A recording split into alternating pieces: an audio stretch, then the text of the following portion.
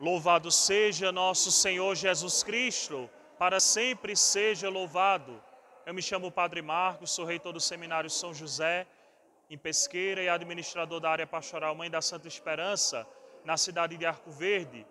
E com muita alegria no coração que eu vim hoje presidir a Eucaristia, nesta quinta noite do novenário em honra à Imaculada Conceição da Virgem Maria, aqui padroeira da cidade de Sertânia.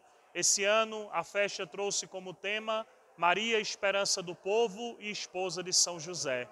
Querido povo de Sertânia, que vocês possam permanecer perseverantes neste tempo de graça, na festa da padroeira, e que Deus vos abençoe, em nome do Pai, do Filho e do Espírito Santo. Amém.